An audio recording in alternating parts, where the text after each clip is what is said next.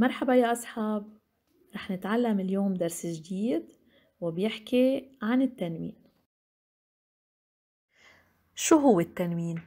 تنوين هو نون ساكنة منضيفها بآخر الكلمة لفظا ومش كتابة بلفظها وما بكتبها.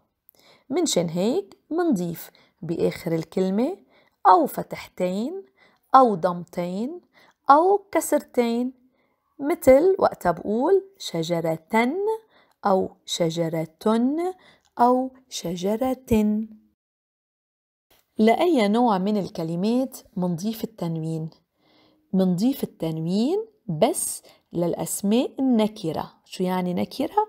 يعني يلي ما بيكون فيها ال مثل قلم مثلا تصير قلم كتب كتب حديقة حديقة. ما بقدر لكن زيد التنوين للكلمات يلي بتبلش بأل التعريف مثل القلم ما بقدر أقول القلم ليش؟ لأنه فيها ال. الكتب ما بقدر زيد عليها تنوين فيها ال بالأول. الحديقة كمان ما بقدر زيد عليها التنوين لأنه بتبلش بأل. لكن ما بقدر زيد التنوين على الأفعال مثل وقتها بقول لعب فتح يسأل هودي أفعال ومش أسماء. كمان ما بقدر زيد التنوين على الحروف الجر مثل وقتها بقول مع وفي وإلى وعن. أول تنوين رح نحكي عنه هو تنوين الضم أو تنوين الرفع. شو هو تنوين الضم؟ هو نون ساكنة نلفظها بآخر الكلمة إذا كانت حركتها ضمة وهيك بصير في عنا ضمتين بآخر الاسم. مثلا منكتب دفتر مع ضمتين على الراء بالآخر ولكن منكون عم نلفظ دفتر عم نسمع نون ولكن أكيد ما عم نكتبها. كلب كمان بكتبها مع ضمتين على حرف الباء ولكن بكون عم بسمع كلب مع نون ساكنة. سيارة ضمتين على التاء وبكون عم بلفظها سيارة. بس في عنا ملاحظة هامة وبدي إياكم تنتبهوا لها كتير منيح. وهي إنه في بعض الكلمات أصلا بتنتهي بنون. ووقت نحن بدنا نزيد عليها تنوين الضم لازم ننتبه لهودي الكلمات لأنه بصير في عنا النون بالإضافة لتنوين الضم يلي نحن زدناه. مثل بكلمة الحصان مثلا بدي ضيف عليها تنوين الضم فلازم شيل الأل وزيد عليها ضمة تانية. صار عندي حصان بس انتبهوا هي أصلا فيها نون لكن صار عندي النون تبع حصان وزدت عليها تنوين الضم.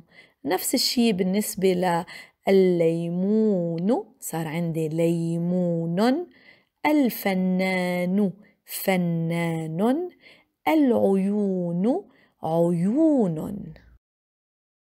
من بعد ما فهمنا تنوين الضم رح نعمل هيدا التمرين.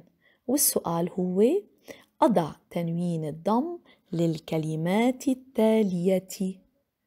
التلميذ المهذب وقت يلي بدي زيد عليها تنوين الضم ما لازم انسى إنه شيل القلب الأول من التلميذ وبزيد ضمة تانية على الذال.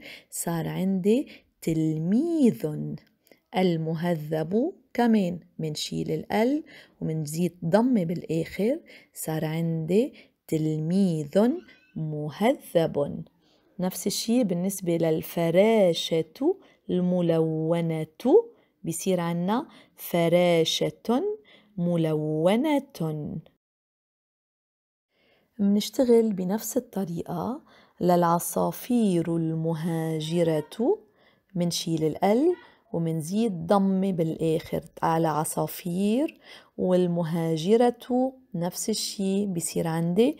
عصافير مهاجرة.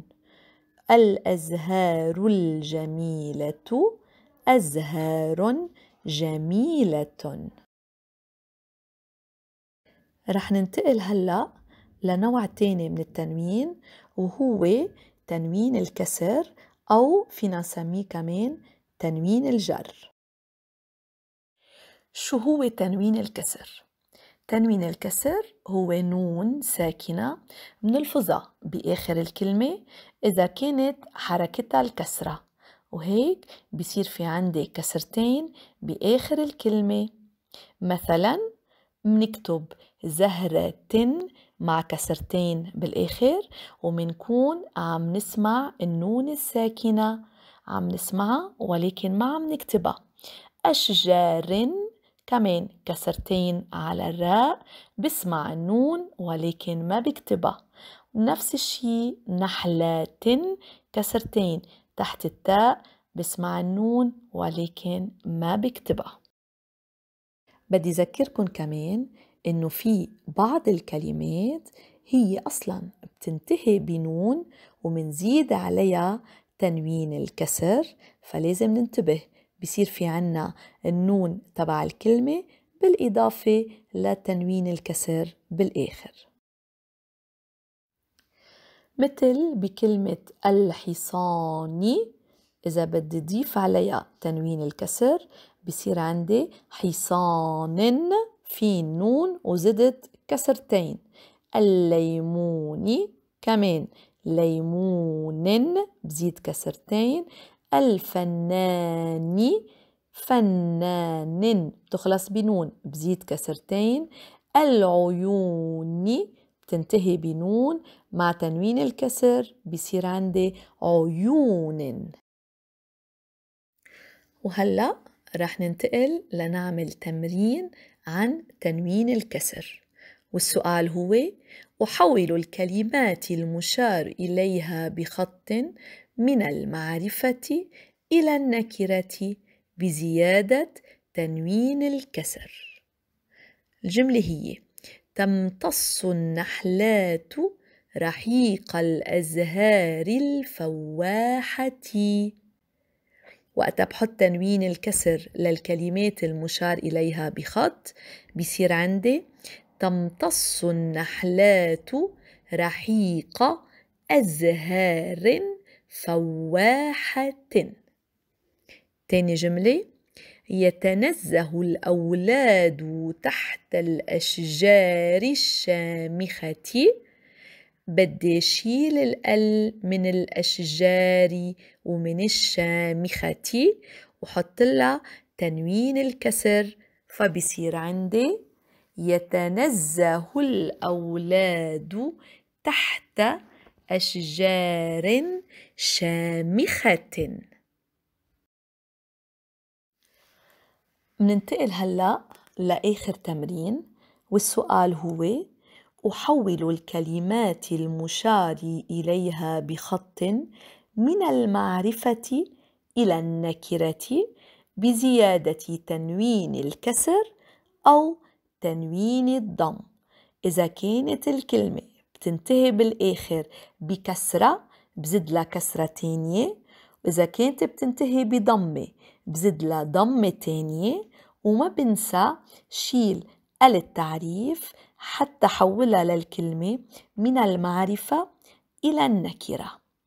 أول جملة معنا تطير الفراشات الملونة فوق الزهور الجميلة.